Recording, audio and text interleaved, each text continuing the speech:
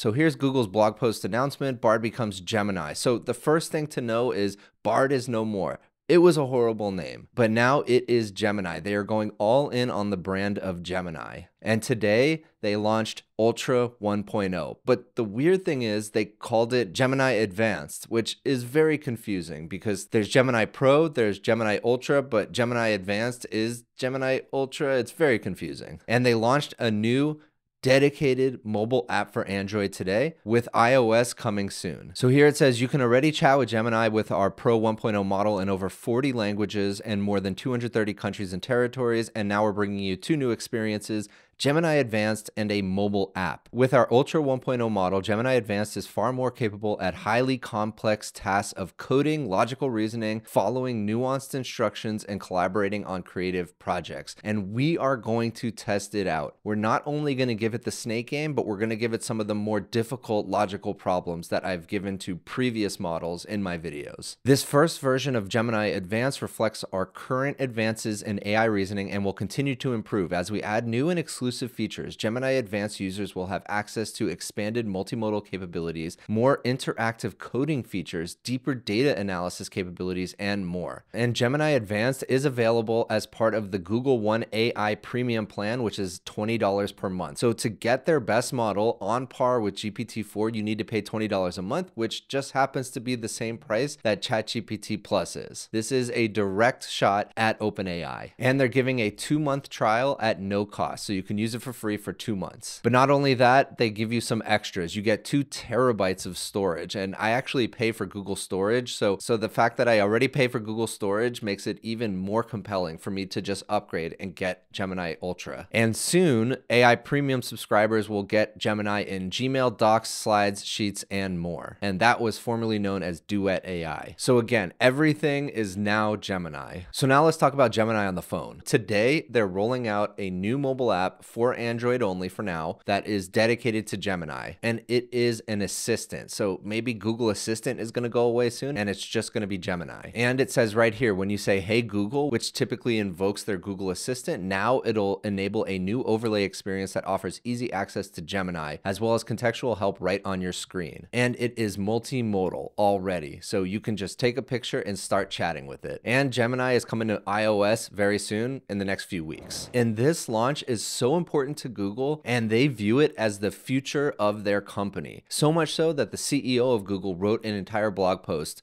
dedicated to this launch. And there's not much additional information in this blog post, so I'm going to skip over it, but it is a different blog post from the CEO. So enough talk. I've signed up for Gemini Advanced. Let's test it out. So the interface looks extremely familiar. It is essentially ChatGPT. I don't know why every other company is just trying to copy the ChatGPT interface because honestly, it's not that revolutionary. It's not that nice, but they did it anyways. So Gemini Advanced right there. And if you click this drop down, you can see that I have the Gemini Advanced option turned on. And before upgrading, it said Gemini and had this grayed out and asked me to upgrade. So I get two free months and I'm using them. Now, a couple settings I want to show you before testing it out. First, we have this thing called extensions, which are basically like ChatGPT plugins. Right now, it ingests all this data from different Google services. So, Google Flights, Google Hotels, Maps, Workspace, and YouTube. And that's really where Google can get ahead of OpenAI because they have access to more data than OpenAI could ever dream of. And not just public data, but also your own private data. There are billions of users for Gmail and Google Search. So, all of that data can now be accessed with Gemini. Gemini. And you can also toggle on and off real time responses. So it has access to real time data right away. All right, enough talk. Let's test it out. New chat. So the first thing we're going to do is test out if it can build a snake game, which is my favorite prompt because if you've watched my videos, you know that two models besides ChatGPT,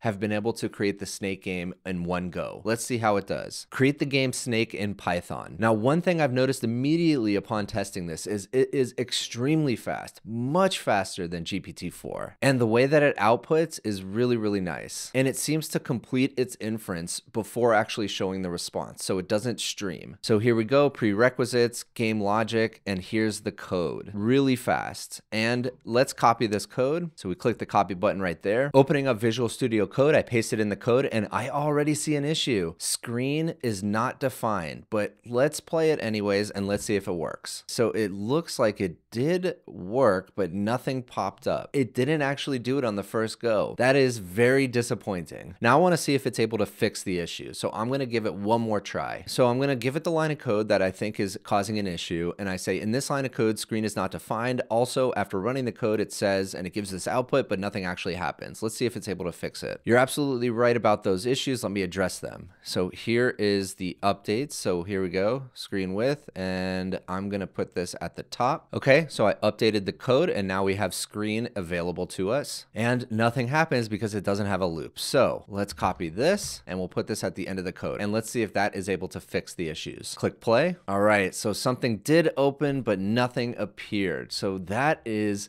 a complete fail. That's a really hard one, but GPT-4 is able to do it last time I checked. All right, now I'm gonna give it some of my most difficult logic and reasoning problems, one that many open source models fail. So the first one, if we lay five shirts out in the sun and it takes four hours to dry, how long would 20 shirts take to dry? Explain your reasoning step by step. And in their blog post, they explicitly mentioned that Gemini is very good at logic and reasoning. So let's see. Assumptions, uniform drying conditions, similar fabrics, reasoning, doesn't depend on the number of shirts, constant drying time. Even if you have 20 shirts laid out in the sun, it would still take approximately four hours for them to dry, assuming the conditions stay the same. So that is correct, assuming parallel drying awesome. All right, one that basically every single model fails because it goes against how the whole Transformers architecture works. How many words are in your response to this prompt? All right, it's telling me to copy and paste it into a word counter. So that is a fail. And for reference, I'm gonna give the same question to GPT-4. And it says, my response to your prompt contains nine words, but it is only eight words. So close, a much better response, but still a fail. Next, let's give it everyone's favorite, the killer's problem. There are three killers in a room. Someone enters the room and kills one of them. Nobody leaves the room. How many killers are left in the room? Explain your reasoning step by step. So here's the reasoning. Start with three killers. One killer is killed, subtract the deceased, two killers left, nobody leaves. There are two killers left in the room. That is a fail also because the person that entered the room also is a killer. Last one. John and Mark are in a room with a ball, a basket, and a box. John puts the ball in the box, then leaves for work. While John is away, Mark puts the ball in the basket and then leaves for school. They both come back together later in the day and they don't know what happened in the room after each of them left the room. Where do they think the ball is? And John's perspective, John remembers putting the ball in the box. Since he didn't take it out, he would think the ball is still in the box. Mark remembers putting the ball in the basket. And since he didn't take it out, he would think the ball is still in the basket. Perfect. That is a great answer. So that was a very brief testing of Gemini Advanced. If you want to see me do more thorough testing of Gemini Advanced,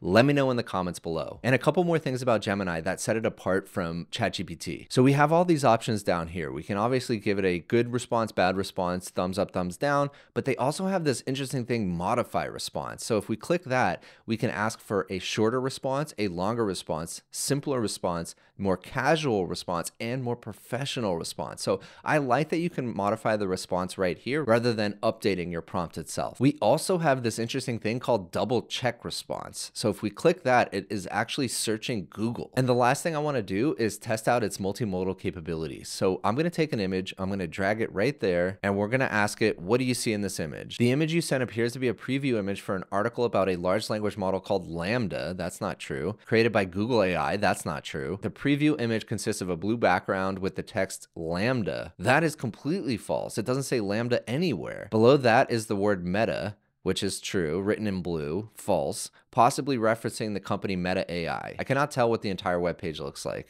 So that's pretty bad. And if I look right here, it actually has multiple drafts of the response. So if I click, I can go through all the different drafts. So here's draft two. The image you sent appears to be a blue and white llama, but it is actually a stylized illustration created by Meta AI. That's true. Okay, this one is much more accurate, so that's great. And here's draft three. So it's very interesting that it gives you three drafts. That is very different from ChatGPT. And if I click this button, I can actually have the response read to me. So Lots of differentiating features. Are they gimmicks or not? Let me know what you think in the comments. I'm excited to test out Gemini Advanced. And from my initial testing, it's pretty good, but I'm not sure it's better than GPT-4. Any competition in this space is welcome. If you enjoyed this video, please consider giving a like and subscribe, and I'll see you in the next one.